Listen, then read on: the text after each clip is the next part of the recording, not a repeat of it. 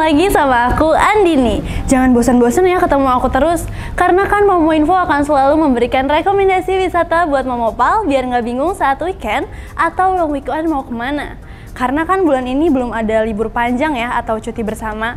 Jadi aku mau kasih yang deket-deket dulu aja nih. Jadi bisa pergi dari Jumat ke Minggu atau Sabtu Minggu juga bisa dong. Lumayan deh buat refreshing otak dari jenuhnya kota Jakarta ini. Dan harus banget deket dari Jakarta. Di mana lagi kalau bukan di Bandung.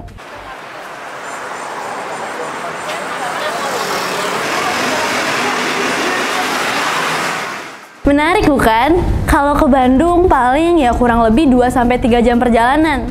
Tapi emang ya kalau bicara soal Bandung seperti nggak ada habisnya untuk tempat wisatanya. Selain terkenal dengan kota kembang, Bandung juga dikenal sebagai kota romantis. Ayo, siapa yang mau ke sini bareng orang tersayang? Nah, Bandung juga memiliki daya tarik berupa landscape alam yang selalu berhasil membuat siapa pun untuk betah berlama-lama singgah di kota ini. Apalagi ya Momopal, sekarang telah hadir banyak banget wisata baru di Bandung yang membuat kota ini semakin ramai diburu para wisatawan untuk mengisi waktu liburannya. Ya udah yuk, nggak perlu berlama-lama, ini dia rekomendasi wisata di Bandung yang wajib Momopal kunjungi.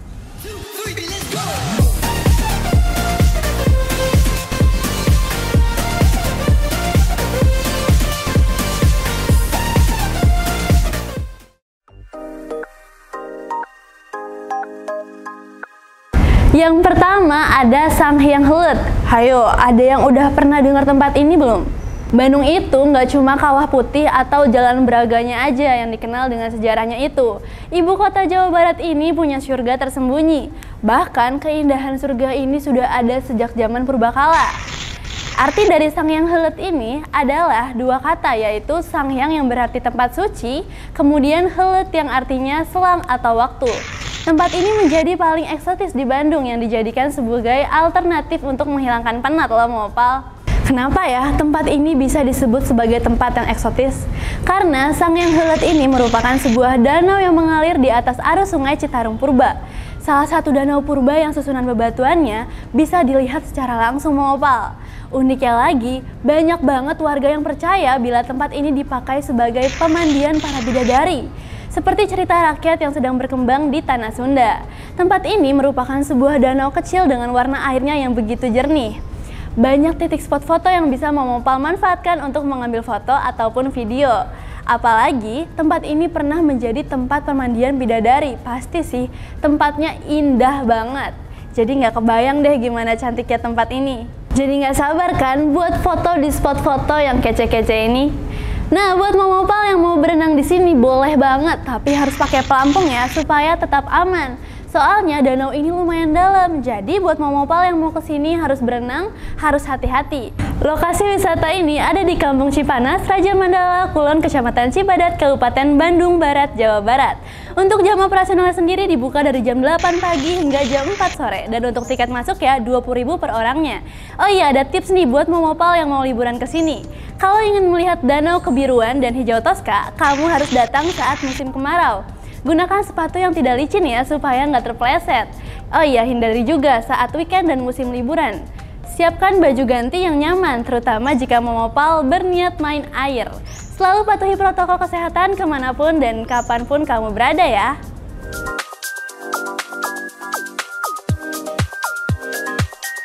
Destinasi wisata yang kedua cocok banget buat mama opal yang mau liburan bareng keluarga, bareng nenek, ataupun bareng kakeknya nih. Di tempat ini satu area cuma sudah tersedia semuanya, jadi ini kayak one stop traveling gitu. Namanya Dusun Bambu. Tempat ini mempunyai suasana yang Sunda banget mama opal, jadi kerasa hawa asli dari Bandungnya. Dusun Bambu ini menyajikan keindahan alam dan budaya tradisional khas Sunda.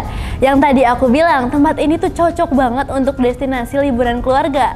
Karena selain sebagai tempat wisata, Dusun Bambu juga merupakan resort. Jadi nggak perlu bingung buat cari penginapannya lagi. Dusun Bambu disebut sebagai one stop traveling karena tempat ini menyediakan berbagai wahana wisata, penginapan, dan tempat belanja pastinya dalam satu tempat saja. Di sini disediakan banyak spot di Momopal seperti Kampung Layung Cottage, Sayang Helang Camp, restoran khas Dusun Bambu, We Family Playground, Lutung Kasarung, dan terus bisa bermain sampan di danau, main sepeda, bambu, terus ada paket foto ataupun paket video drone. Banyak banget deh aktivitas yang bisa Momopal lakukan di sini, mulai dari anak-anak sampai orang dewasa. Seneng deh pasti kalau liburan di sini. Oh iya, di setiap spot foto tersebut ada tarifnya lagi ya Momopal, tapi tetap terjangkau kok. Jangan khawatir soal jarak dari satu spot ke spot lainnya, karena wisata ini family friendly banget. Di sini juga ada shuttle gratis yang datang setiap 5 menit sekali. Untuk alamatnya sendiri berada di Jalan Kolonel Masturi, Situ Lembang, Cisarua, Bandung, Jawa Barat. Desa wisata ini buka setiap harinya dari jam 10 pagi sampai jam 8 malam. Diingat ya, Mopal, jangan sampai nanti bingung mau liburan ke mana bareng keluarga.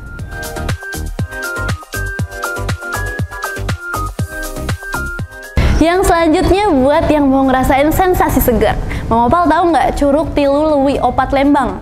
Emang sih curug ini masih belum banyak yang tahu, padahal tempatnya lumayan banget buat Mama Pal yang nggak terlalu suka tempat yang ramai. Lokasi Curug Tilu Opat berada di Ciwangun, Parompong, gak jauh kok dari Lembang. Lokasinya juga terletak gak jauh dari Curug Cimahi, kurang lebih 2 km aja. Area di curug ini tuh cukup luas Momopal. Tidak hanya trekking langsung ke Curug Tilu, di sini juga Momopal bisa mengikuti kegiatan outbound yang cukup lengkap. Antara lain ada body rafting, flying fox, gebuk bantal, high rope, jembatan dua tali, menangkat ikat, rakit, shaking bridge, dan lain sebagainya.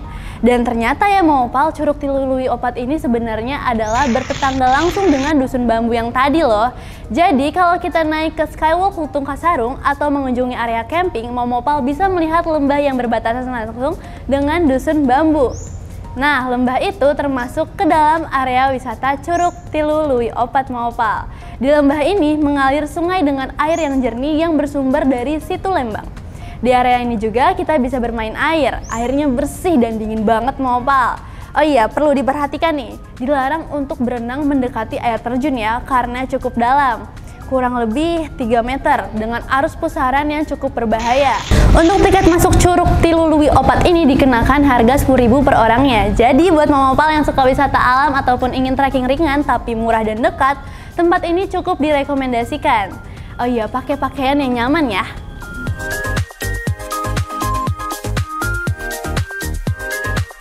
Wisata yang terakhir nih Mopal cocok banget buat kalian penggemar foto-foto instagenik. Yap, The Lodge Maribaya. Siapa sih yang nggak tahu nama tempat ini? Bagi wisatawan yang liburan ke Bandung, terutama ke area Lembang, tempat ini seolah menjadi salah satu destinasi yang wajib dikunjungi.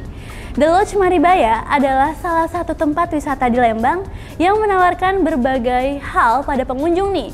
Di sini, Momopal bisa melakukan berbagai aktivitas seperti camping, trekking, mengelilingi area hutan pinus yang indah, atau acara gathering dan team building atau bahkan hanya sekedar refreshing menikmati kuliner juga bisa banget dilakukan di sini. Kalau mau Pal lihat nih review di tempat di sosial media terkenal dengan spot yang sangat instagramable. Di The Lodge Maribaya terdapat banyak banget wahana yang bisa Pal nikmati nih seperti balon udara, zip bike, gantole, ayunan skywings, bamboo sky, skytree, dan lain sebagainya. Untuk menikmati fasilitas wahana tersebut, ada biayanya lagi ya Mopal, tapi tenang aja masih terjangkau kok. Tiket masuknya sendiri di The Lodge Maribaya adalah weekday 20.000 per orang, weekend 25.000 per orang, dan hari libur nasional 3 35.000 per orangnya. Lokasinya berada di Jalan Maribaya nomor 149, Lembang, Bandung, Jawa Barat. Oh iya Momopal, aku ada tips nih buat Momopal yang mau berkunjung ke sini. Momopal ke sini pastikan datang di pagi atau sore hari dan di cuaca yang tepat ya. Di sini tempatnya outdoor, jadi pakaian kalian juga harus menyesuaikan cuaca agar nyaman. Dan tempat ini mungkin kurang cocok untuk yang lanjut usia dan yang membawa stroller bayi karena landscape-nya naik turun dan bertangga. Jadi itu dia Mopal, rekomendasi wisata yang Mopal dapat kunjungi saat ke Bandung. Seru-seru banget kan? Jangan lupa untuk di like, comment, and subscribe. Aku Anini pamit, see you on the next video, bye-bye!